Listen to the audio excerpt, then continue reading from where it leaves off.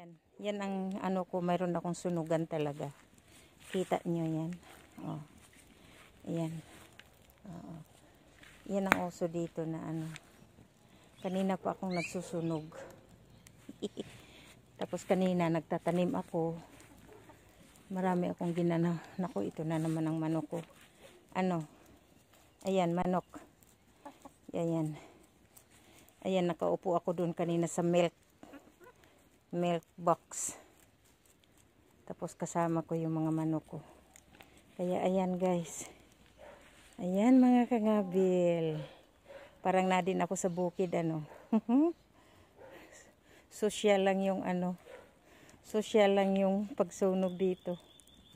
Kaya ayan. 'Di ba? Mm. Ayan ang gawain ko. Nagsusunog. Yung mga pinutol ko doon, ayan. Oo. Wala na yung gubat dito na ano. Pan, hindi pa ako nakatapos ng putulin. Oo. Hindi ko pa tapos silang puputulin. Ayan lang. Ayan yung mga manok ko. Manok! Ayan. Medyo ano na dito pa oh. Ayan ang ginagawa ko. Nagre-repat ako. Hindi pa tapos. Ayun ang dami ko talagang gawain kaya ba, gusto ko bago mag ano bago mag spring eh malinis na itong ano ko kasi talagang sa lo, lunis bukas kukunin na naman yung basura martes ng umaga. Kaya pagkatapos to pupunuin ko na naman. Tatapon ko ito lahat. Ito dyan sa gilid. Nilinisin ko yan lahat talaga. Ibalik ko dati hindi magubat kasi ang dami nilang mga sakulan kasi oh. Ayan oh nakatumba-tumba na sila. Ayan yung orchid sa ilalim. Kaya ayun oh doon. Hindi pa talaga na organize ang gulo-gulo. Gulo-gulo. Ayan na yung iba. Oh, na-organize ko na sila doon. Ayaw ko na nasa lupa kasi ang dami-dami. Oo. Ang dami. Kaya ayan Di ba, mga kangabil? ah, ayan lang. Ayan. Uh -uh. Ayan mga kangabil. Ang trabaho ko. ah. Ayan. Uh. Ayan yung pinagawa ko ng sunugan. Ayan si lalim. Pwede ka mag-barbecue dyan. Ayan. Okay lang.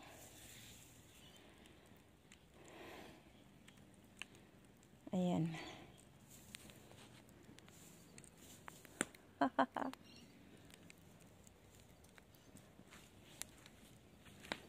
Ay mga kangabil, ayan ang nagawa ko itong araw na ito kasi hindi masyadong ano hindi masyadong maginaw ngayon. Kaya halos whole day ako dito. Ayan puputulin ko pa yung orange tree ko. Yung basura ayun. Puno na po yan talaga. Tumungtong na ako para talaga ma maano mapuno. Oo. Ayan lang oh Ayan lang. Ah, ayan. Kasi pag hindi ko ito handaan, pag spring, parating na next month, spring na, ay naku po, magsistubuan na ito. Grabe na din eh. Oo. Ayan. Pwede ka mag-barbecue dyan, oh. Uh, di ba? Dami kong nagawa itong araw na ito. Oo. Yan manok. Yan ang manok ko. Oh. Dalawa yan. Nasaan na yung isa. Ayan. Ayan.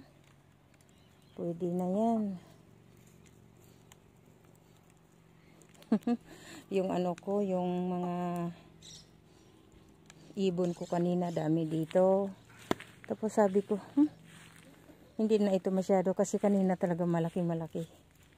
Hindi ko lang ito inaano. Ngayon ko lang kasi maganda dito ngayon dahil malamig-lamig na paggabi na. Eh, ayan. Mm-mm. Ito yung ano, ito yung katawan ng yung katulad ng pinutol ko ng parang ano, parang saging ang dahon. Ang haba-haba ito dati. Kaya ayan, pinutol ko na sila. Pinutol ko tapos nalanta na, natuyo. Kaya ayan, sinunog ko. Oo. Okay mga kangabil. Thank you for watching. Bye-bye. Bye-bye. Bye-bye manok. Ayan, manok. Bye-bye manok.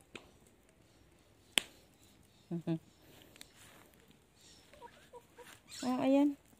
Bye-bye manok. Sige na manok, pasok na kayo. Sus, kinoo ko. Ayan. Ayan ang mga manok ko. Manok. Ang manok ko, manok manok, bye-bye mga kangabil, bye-bye have a good Sunday mga kangabil. Ayan. Ayan dami ng ayun daming gulo. Ayun nalanta na yung kahoy.